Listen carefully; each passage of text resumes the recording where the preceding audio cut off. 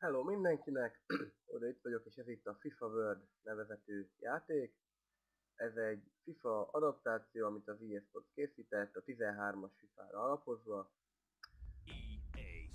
A játékról annyit, hogy ez egy uh, internetes, uh, ingyenes, teljesen ingyenes FIFA, ami leginkább az alap FIFA-nak az Ultimate módjára épül. A játékról még annyit, hogy lehet single playerről is játszani, itt is látható, a saját Ultimate Teameddel, illetve League Teamben, ez a League Team szerintem egy nagyon fontos része a játéknak, ugyanis itt normál, valódi csapatokat tudunk játszani, ugyanúgy igazi ellenfelek ellen multiplayer jellege megmarad. Még annyit a játékról, hogy nagyon jól van optimalizálva, tehát gyengébb gépeken is elfut, illetve a gyengébb is, gyengébb netek sem okozott problémát. Az Ultimate Teamben is, már bemegyünk, akkor ugye játszhatunk többféle, tehát választunk többféle játékok közül. Az egyik az az Online Season, ebben ö, ilyen bajnokságos rendszer van, minél följebb kell jutni, annál nehezebben tudjuk természetesen az ellenfelek. Ö, itt mutatja, hogy a meccseket, mennyit kapok, hogyha feljutok. Nem szoktam Ultimate címezni, ugyanis a nem érzem úgy, úgy konkrétan jó rendszernek, hogy én most vagyok egy, egy viszonylag gyenge csapattal, és megkapok egy sokkal erősebb csapatot. Ugye itt a single player season ugyanez, csak itt ö, csapatok ellen kell játszani, itt is minél feljebb jutunk, annál erősebb csapatok vannak, tehát a Division 1-ben már kapunk majd egy Chelsea-t, egy Barcelona-t, egy Real Madridot, a single player tournamentet már mutattam a főmenüben, itt kiválasztunk egy bajnokság a single playerből, és ezt kell végigjátszanunk. Ez se annyira tartom jónak, mert itt is vagy nagyon keveset kapunk, vagy olyan feltételek vannak, hogy mi nekünk is gyenge csapatunk lesz, vagy nagyon erős csapatot játszunk, illetve még van ez a Team of the Week, amikor a 7 legjobb csapatát kell megverni. Kiválaszthatjuk a ellenfelünknek a játékmód, hogy milyen erősségre játszol az ellenfelünk, és itt is van, hogy mennyi pénzt érte. Viszonylag kevés összeg, például a 150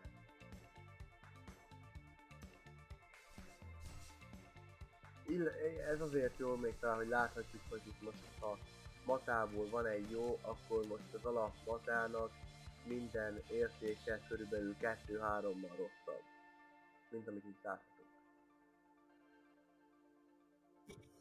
Tehát itt ezek az Ultimate Teamben szereplő játékosok ö, minden értéke kettővel fel van javítva, az átlag értékelésük ott ugye megmarad az alapok. Vannak érdekességek amúgy, tehát itt is a bota 88-asnak van értékelve. Láthatjuk, hogy 88 fölött csak a cselezése van. Tehát elég érdekesen osztály ez a játék.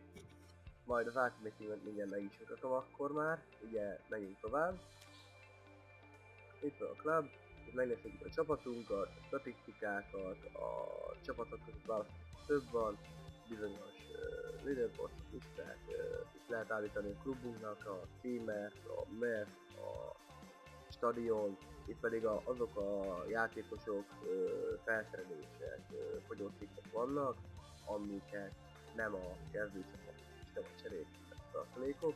A csapatom az jelenleg így néz ki, látható, hogy nem a legacélosabb. Talán még Torres a legjobb játékosom, illetve ő rá szokta alapozni a támadásokat, hogy külön vettem meg, illetve még Hoyletet, akitől nagyon sok mindent vártam, de sajnos nem egy nagyon jó játékos. Kapusom érdekes még, hogy már nem ez a kapusom, egy előző.